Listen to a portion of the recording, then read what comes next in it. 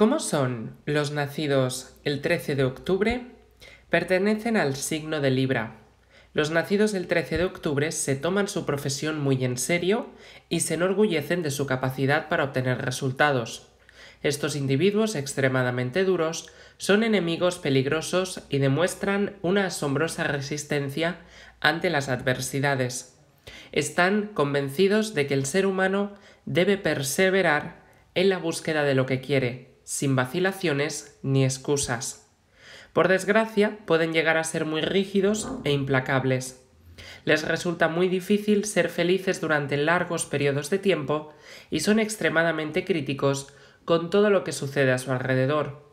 Necesitan relajarse, pero a menudo les resulta imposible hacerlo, ya que a pesar de sus grandes capacidades tienen dificultades para simplificar la vida.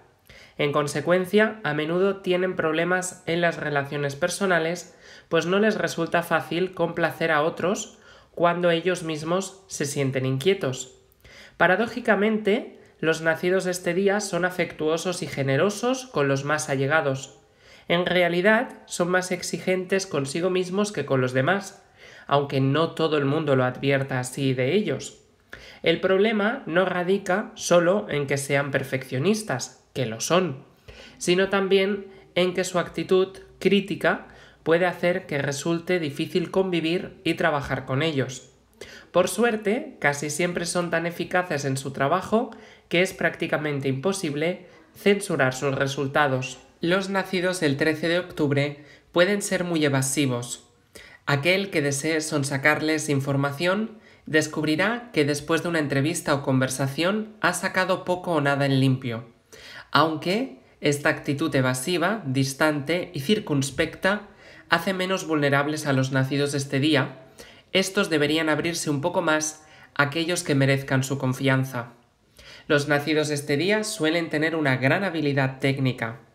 Aunque unas personas con tanto dominio del medio no deberían tener problemas profesionales, lo cierto es que suelen experimentar una gran confusión cuando se los rechaza o no se les hace caso. Les resulta muy difícil admitir o superar una derrota. Por lo tanto, es probable que necesiten experiencias negativas para avanzar en el desarrollo personal y especialmente para analizarse a sí mismos, cosa que no podrán hacer durante los periodos de mayor éxito. Es esencial que los nacidos del 13 de octubre se comprendan primero a sí mismos y a continuación procuren establecer vínculos humanos con quienes les rodean. Aprender a relajarse, a divertirse y a no tomarse las cosas tan a pecho también les ayudará. Si consiguen evolucionar en ese sentido, no cabe duda de que su empuje, ambición y capacidades excepcionales les conducirá al éxito. Procedamos a definir ahora los aspectos concretos de su personalidad, comenzando por los números y los planetas. Los nacidos el 13 de octubre están regidos por el número 4, puesto que de 13 1 más 3 son 4, y por el planeta Urano, que es a un tiempo errático y explosivo. Puesto que los nacidos el 13 de octubre suelen dedicarse a actividades sociales y profesionales muy ambiciosas, deben aprender a mantener controlada su factura y faceta uraniana la conexión entre Urano y Venus, que Venus es el planeta que rige a Libra, puede determinar una vida amorosa inestable y una propensión a las realidades poco convencionales. Aunque algunos consideran que el 13 trae mala suerte, en realidad es un número poderoso que exige utilizar su poder con sabiduría. El número 4 representa rebeldía, creencias originales y un deseo de cambiar las normas, todo lo cual se pone de manifiesto en los nacidos del 13 de octubre. En el tarot, la carta del tarot más mal interpretada es la decimotercera de los arcanos mayores, que es la muerte, que rara vez debe tomarse literalmente, pues simboliza el abandono del pasado para crecer más allá de las limitaciones. Sin embargo, esta carta y el número 4 sugieren que los nacidos del 13 de octubre deben protegerse contra las decepciones, el pesimismo y la melancolía. En cuanto a la salud, dado que la relajación es la necesidad más importante para los nacidos del 13 de octubre y que sus mayores problemas de salud suelen estar relacionados con el estrés, la frecuencia con que recurren a los fármacos para solucionar estos problemas pueden convertirse en un peligro para ellos. En lugar de tomarse tiempo libre o tratar de conocerse mejor, a estos individuos emprendedores les resulta más sencillo fumar, beber o aliviar las tensiones con medicamentos. La psicoterapia puede ser de gran ayuda para ellos y por lo tanto, cada vez que se sientan angustiados, puesto que en general no se especializan en el autoanálisis. También es recomendable para ellos que practiquen meditación frecuente o algún tipo de filosofía oriental como por ejemplo el yoga. Consejos finales. Aprenda a relajarse un poco más.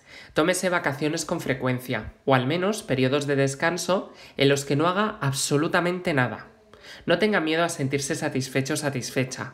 Admita sus errores y evite culpar a los demás. La vulnerabilidad puede conducir a la felicidad.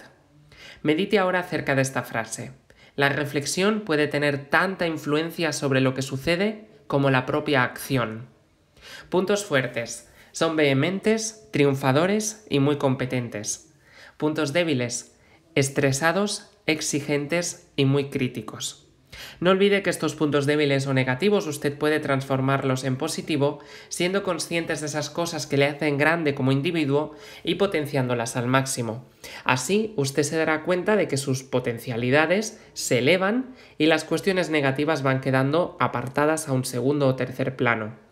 Por ello le invitamos, si lo desea, que se suscriba a este nuestro canal de YouTube, donde todos los días le ofrecemos un servicio de horóscopo totalmente gratuito para su signo de Libra, en el que encontrará consejos prácticos, opciones y decisiones que podrá ir emprendiendo si lo desea para tener una vida mucho más plena y feliz.